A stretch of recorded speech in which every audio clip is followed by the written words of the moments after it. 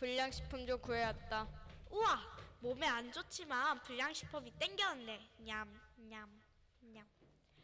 어? 그런데 심심해서 그냥 나왔어. 왜 내 말을 무시해? 네가 무슨 말 할지 알았으니까.